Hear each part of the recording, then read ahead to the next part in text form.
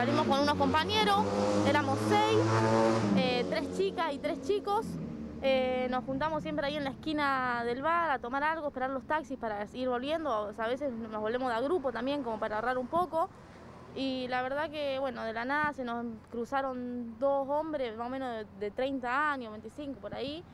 Eh, nos empezaron a pedir todo, nos decían que, le demos la mochila, que le demos los celulares, todo. La, verdad que nos asustamos un montón porque nos empezaron a sacar la, arma, tenían un arma y el otro un cuchillo. Y o sea, nos, asustamos, la verdad. Y cuando, cuando salimos, salimos todos corriendo.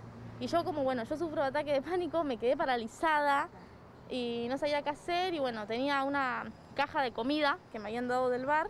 Me la puse de este lado, me tapé el celular, no sé cómo pero acá me había quedado la mochila súper suelta. Cuando me pone el arma, porque justo a la que le puso el arma fue a mí, cuando me pone el arma acá en la, cintura, eh, yo me asusto, no podía correr, no podía hacer nada porque no sabía cómo podía reaccionar. Le tiré el brazo así como que me saque la mochila él solo, me saca la mochila y, después empecé a correr. ¿Qué tenías en la mochila? En la mochila tenía la billetera con el DNI, con, con plata, con carnet del club, la tarjeta de débito, eh, tenía bueno, la riñonera con las cosas que yo uso de moza, eh, la remera del trabajo, porque ya me había cambiado, la mochila tenía todo eso.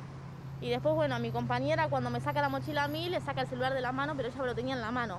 Las demás, o sea, fuimos dos las que nos, alcanzó a robar. Los demás salieron todos corriendo. Cuando corremos para el lado de Pellegrini, nos, nos cruzamos con, en la puerta con el seguridad del bar de nosotros y con el encargado, que llaman rápido a la policía porque se dieron cuenta y justo había un móvil por ahí dando vuelta, entonces llegó rápido, la verdad. Nos empezaron a preguntar, nosotros le dijimos cómo estaba vestido porque eran dos. Uno estaba vestido con una remera blanca y una bermuda así como con manchas, algo así, y el otro estaba con una remera blanca con verde.